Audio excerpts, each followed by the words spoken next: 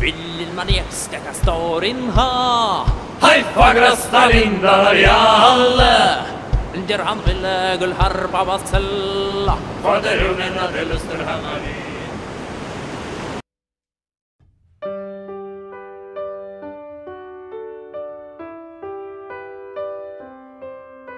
Jeg. Mannen min. Søstera mi. Huset mitt. Søstrene mine.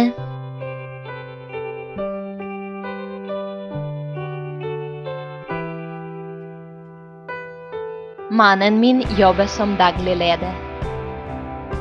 Jeg skal ha middag med søstera mi i dag. Huset mitt har fire soverom, to baderom og hage. Søstrene mine flyttet til London.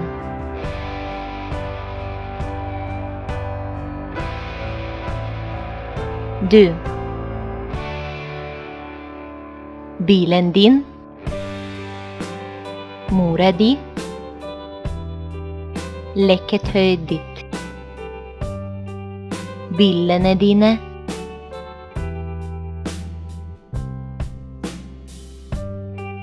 Bilen din var første gang registrert i 2013.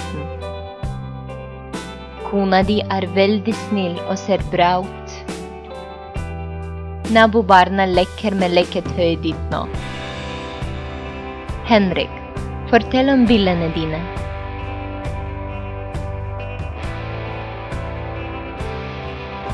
Han. Hunden hans. Gava hans. Barnet hans. Barna hans.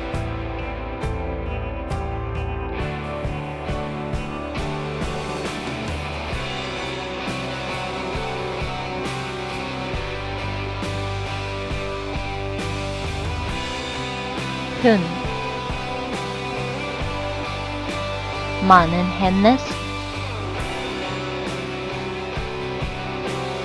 Søstera hennes. Huset hennes. Søstrene hennes.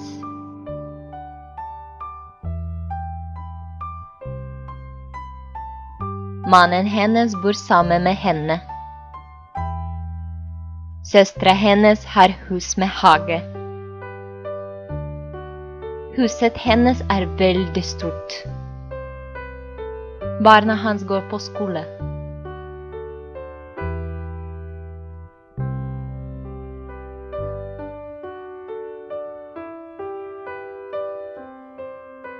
Vi. Bilen vår. Bukka vår. Barnet vårt. Bøkene våre. Oi.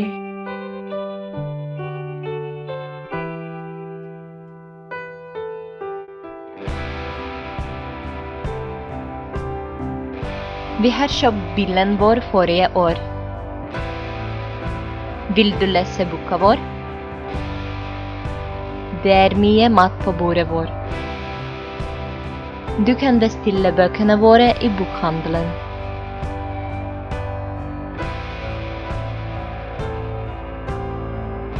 De eller dere. Ideen deres. Boka deres. Barnet deres. Ideene deres. Jeg tror ideen deres er kjempefint. Boka deres er veldig populær nå. Hvor gammel er barnet deres? Ideene deres er gode, men jeg ønsker å se noen resultater.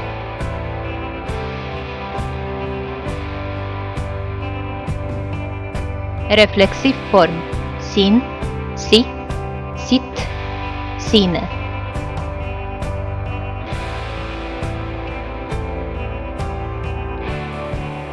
Vi bruker refleksiv form når vi eier objektet. Tor finner mobiltelefonen sin på gulvet. Tors mobiltelefon. John legger seg i senga si. Johns senga. Marie tenker ofte på hjemlandet sitt. Maries hjemlande. Etterpå snakker Marie med foreldrene sine. Maries foreldrene.